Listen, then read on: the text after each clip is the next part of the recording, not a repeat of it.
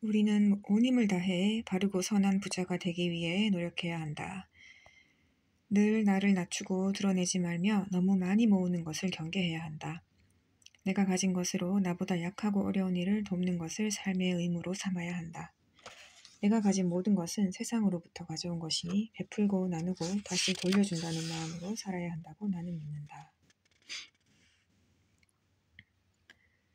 지금을 감사하는 사람이 되자. 자신의 자리를 두려워할 줄 아는 사람이 되자. 늘 말과 행동을 조심하자. 베푸는 사람으로 살자. 누구에게라도 낮출 줄 아는 사람이 되자. 멀리 볼 것 없이 배우자와 자녀에게 부끄럽지 않은 삶을 살면 될 것이다. 늘 나를 다듬고 주변 사람들에게 친절하고 다정하며 하늘 아래 떳떳한 삶을 살아야 할 것이다. 이것이 부자의 처음과 끝임을 잊지 말자.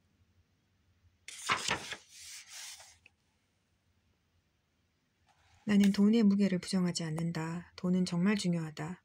자본주의 세계에서 돈에 대해 모르거나 관심이 없는 것은 게임의 룰을 모른 채 게임판에 들어와 있는 것이나 마찬가지다. 밥이냐 존재냐. 밥을 해결하지 못한 상태에서 존재와 가치를 찾으면 많은 비극이 발생한다. 그러니 밥을 먼저 해결하라.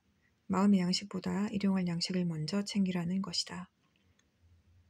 내 경험상 밥을 먼저 해결하니 존재의 가치는 저절로 따라오더라. 그것도 매우 빠른 속도로. 내 꿈을 사랑하고 좋아하는 일을 하며 산다는 것. 인생의 전반부가 먹고 살고 가족을 건사하기 위해 경제적으로 분투한 시기였다면 후반부에는 진정으로 하고 싶은 일을 하며 가치 있는 삶을 살아야 하리라.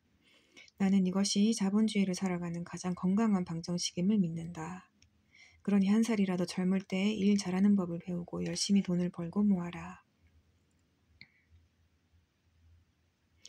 그리고 인생이 익어가는 어느 시점부터는 삶을 즐기고 찬미하고 인간적으로 깊어져야 한다.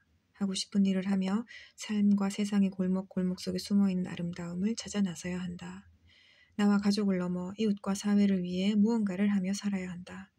그래야 잘 산 인생이 아니겠는가.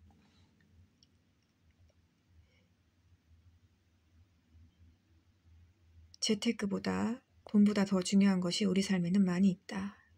그것들을 놓쳐서는 안 된다. 가족과 이웃, 꿈과 목표, 놀이, 지식, 예술, 철학, 사랑, 공헌 등 가치가 그것이다. 우리의 삶은 강남에 50평짜리 아파트를 마련하는 목표보다 훨씬 보람있고 즐겁고 가치 있어야 하지 않을까. 아침 긍정학원 1. 나는 세상을 이롭게 하는 가치를 만들었다.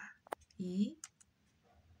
매일 이렇게 하면 돈은 저절로 따라왔다. 3. 매일 성장하고 감사하는 마음을 가졌다. 4. 아침 긍정학원으로 열정을 꾸준히 유지했다. 5. 내가 원하는 것을 하루에 100번씩 외쳤다. 그럼 다 이루어졌다.